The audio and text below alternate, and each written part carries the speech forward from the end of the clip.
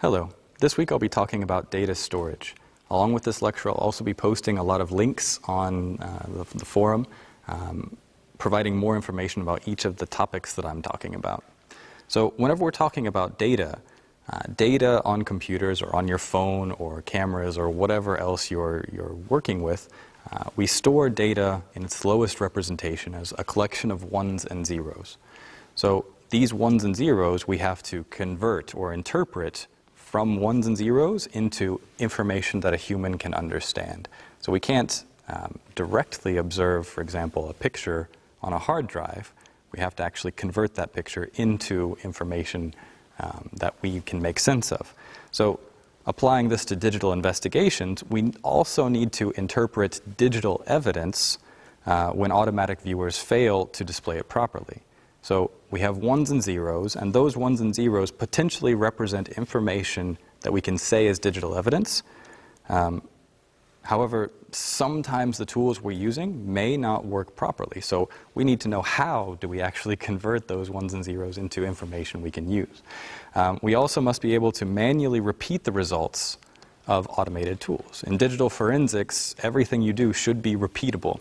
Um, so we need to understand how our tools are actually working, how our tools are converting those ones and zeros into information that we can actually use in a court of law. Um, we also must be able to recover as much data as possible when the data is partially destroyed. So sometimes parts of the data might be missing or otherwise destroyed or um, changed in some way. So if we only have parts of the data, how can we recover, for example, part of a picture? So what we'll be talking about this week is, first off, how to, um, where data is actually located whenever we're dealing with computer systems, and how to acquire that data in a way that we can um, use it for forensic investigations. So first off, whenever we're representing data, um, we say that the physical layer is the lowest layer, layer that we can represent data on. So it's the low, lowest level of data storage, and it's kind of the layer you can touch. So think about um, a USB stick or hard drive or even your mobile phone. All of those are things you can touch, and they also store data or information that could be like your pictures, right? So there is a physical storage, something you can touch, that stores data in some way. So a physical hard drive, potentially random access memory, which we'll talk about more later. Um, there's a couple different ways that we commonly store data now on the physical layer. Um, the first and oldest, I guess, way is um, on hard disk drives, and these are the hard drives you would normally find in your computer.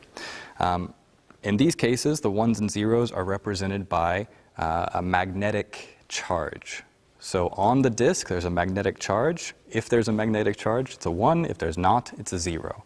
So we can go through and read magnetic charges on the disk and reconstruct the ones and zeros from that.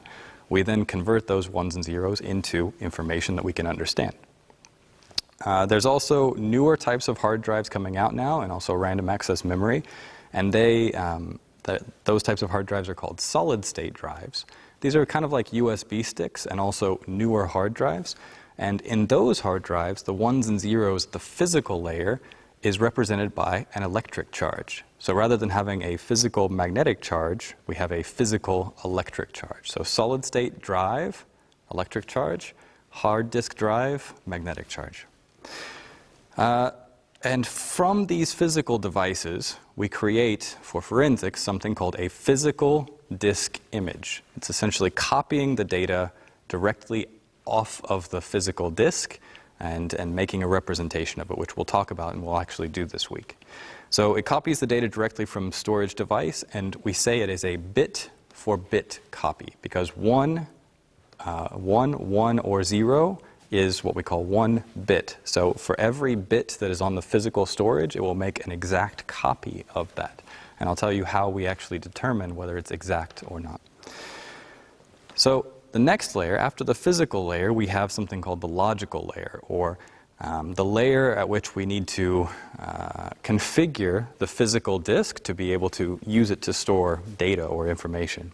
So the logical layer is defined as a division of physical storage space into, or is a division of physical storage into uh, logical sections, basically splitting up the, the storage space um, to use the storage space for different things. And there's lots of different reasons we might have logical disks, um, but we won't really go into those right now. I'll put more links in the, the forum. Uh, we tend to call these logical, uh, logical divisions or logical volumes. Uh, in Windows, we call them partitions or volumes. Uh, in OS X, we call them slices. Um, and it allows the splitting of the disk into usable sections, maybe for different purposes. So basically, we have this physical hard drive, and we have to get it ready to be able to store data. So to do that, we have to make a logical kind of container inside. So using a data structure, we'll talk about next time, um, we create a logical container inside the physical disk. That way we can store things inside of it. Uh, a logical disk image, so we can also, we, we, just talked about physical disk image, which is making a bit for bit copy of the physical device. A logical disk image copies only what is in the partition, um, usually at a higher level or the file system level. So basically, we only get currently accessible files that are on that partition, uh, usually smaller size, but it may not uh, be able to recover all deleted files. So whenever we're taking a logical disk image, we usually are missing some information that might be related or important to the case. So we tend to go with physical disk images, but the physical disk images will be much bigger.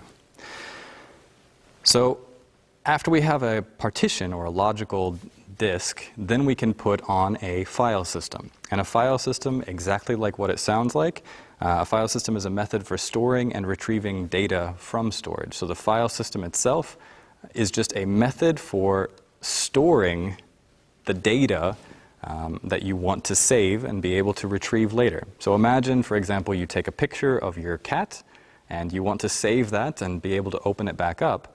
How does your computer know where the entire data for the cat is located on the storage device? And the way it knows that essentially is whatever file system it uses keeps track of the location of each of the parts of that cat picture.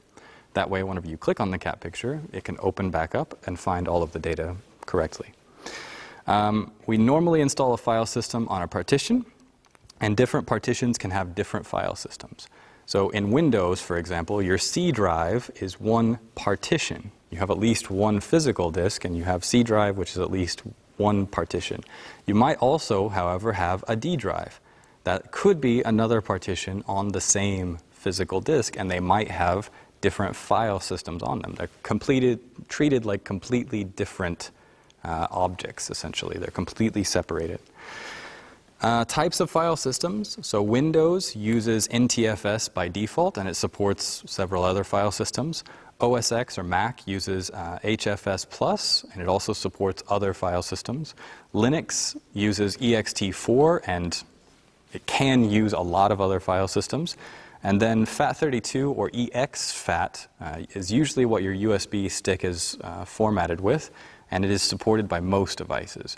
So there's lots of different file systems that we can install. Some operating systems support by default uh, certain file systems um, whereas other operating systems will support other file systems. But we can install um, many different file systems depending on the, the, the, operating system or the device we're trying to use. So just a quick overview. Um, first, we have a physical disk. And on the physical disk, we need to create a logical partition, which is essentially just a container um, where we can store data. In this logical partition, we then install usually a file system. That way we can keep track of any of the files we want to save on that partition and recover them later. Once we have a file system, then we can install something like an operating system or just start saving data. Uh, once the file system is installed, the operating system can be installed, and the way the data uh, will be saved on a storage disk is managed by the file system. Like I said, there's lots of different types of file systems, and they all save data a little bit differently. They all have uh, pros and cons, basically, um, depending on what features you're looking for for your data storage. So our task as forensic investigators is to take the data that's stored on a disk, either the logical partition, the physical disk, um, or even just a file, and make sense of that data. So in the next lecture, I'll talk about data structures, where we actually go through how to make sense of this data that we find on these disks. Thank you very much. Thank you.